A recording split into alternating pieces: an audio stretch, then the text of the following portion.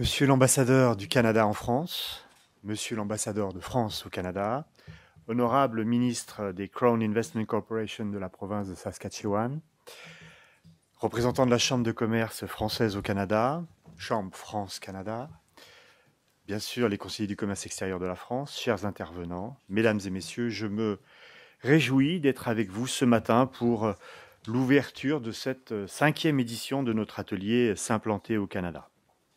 Alors, le Canada, c'est euh, évidemment une, destination commerciale très importante pour nos entreprises, euh, qui sont nombreuses à y aller pour développer des affaires ou pour s'implanter. Le pays euh, se positionne comme une tête de pont au niveau du continent nord-américain et présente d'immenses opportunités commerciales pour les entreprises qui visent à développer leur activité export sur place. Nous travaillons d'ailleurs étroitement avec euh, nos partenaires canadiens sur les sujets sectoriels pour positionner l'offre française sur les secteurs importants et stratégiques. On pense évidemment au nucléaire, à la clean tech, la deep tech, la cybersécurité, les sciences de la vie, les industries culturelles et créatives, et puis bien sûr, je ne les oublie pas, les minéraux critiques. Au cours de 2023, Business France a organisé une dizaine de missions d'accompagnement euh, collectif au Canada. Je peux citer par exemple un pavillon France environnement au salon Americana en, mars à Montréal. Euh, on avait euh, la nucléaire Business Expedition à Toronto fin septembre, les French Cyber Security Days à l'occasion de la FIC Amérique du Nord à Montréal, et puis un beau programme d'immersion pour les entreprises des industries culturelles et créatives à Toronto. On, aura aussi, euh, on a eu aussi un, beau programme d'accélération, Next, qui est euh, orienté sur la santé, euh, à Montréal en avril dernier.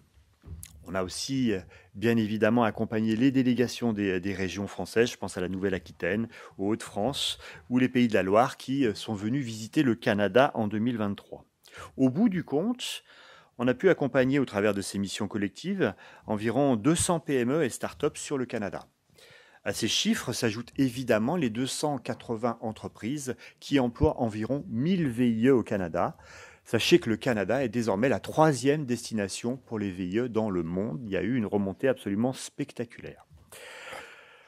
On sera ambitieux pour 2024 avec euh, des, programmes récurrents. Je pense à la Cyber Security Booster ou le, Creative Lab qui concerne les industries culturelles créatives. Et puis on parlait des minéraux critiques. On aura un pavillon France sur la PDAC en 2024.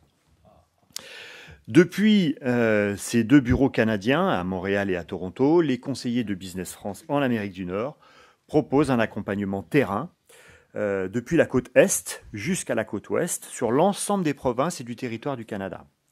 Cette stratégie Go West or East se traduit donc par un meilleur accompagnement vers les destinations où se trouve le potentiel pour nos clients.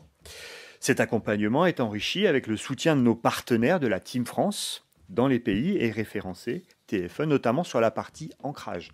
Ancrage, pour nous, c'est s'implanter dans le pays ciblé, donc au Canada. Nous nous appuyons sur la compétence et l'expertise de nos partenaires pour apporter plus de valeur ajoutée à nos clients, que ce soit pour un projet d'implantation, j'en parlais, hébergement ou portage. Le continuum d'accompagnement va de bout en bout et est assuré de la France jusqu'au Canada grâce au réseau Business France et ses partenaires comme les CCEF et les chambres de commerce et d'investissement au Québec. Avant de conclure, je tiens à remercier l'ambassade du Canada de nous accueillir pour cette édition de l'atelier S'implanter au Canada.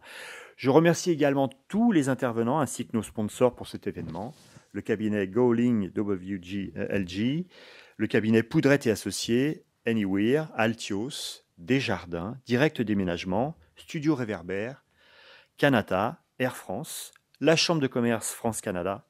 Et je remercie également tous les représentants des provinces représentées ce matin, le Nouveau-Brunswick, le Québec, l'Ontario, le Manitoba-Winnipeg et l'Alberta. Je ne serai pas plus long et je vous souhaite un excellent atelier de fructueuses rencontres.